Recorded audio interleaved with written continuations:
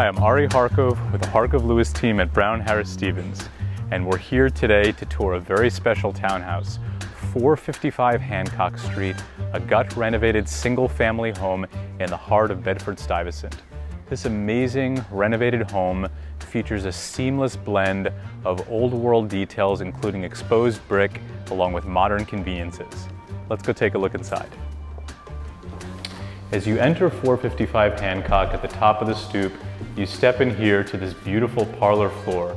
This amazing space with soaring ceilings has this incredible exposed brick, a beautiful living and dining room, and then you head in here into your chef's kitchen with this large center island, these very cool retro appliances and custom cabinetry. The space is punctuated by this amazing nano wall that opens up perfectly onto your rear deck. We're here on your private deck. This space is perfect for outdoor dining or entertaining and has steps leading down to a beautiful manicured private backyard. This multi-level outdoor space features a green area, plenty of space for outdoor gardening or relaxing and has a patio leading down to the garden floor. As you head down the stairs off the parlor floor, you step into the garden floor of the home.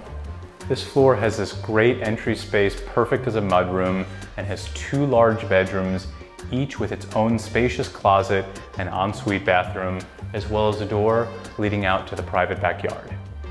Heading off the parlor floor leads you on the staircase up to the top floor of the home, where you have two large bedrooms, two additional ensuite bathrooms, and a stacked washer dryer.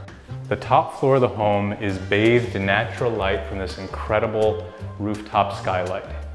The rear bedroom here has two windows overlooking the trees and the backyard, and each room on this floor has its own ensuite bathroom and walk-in closet.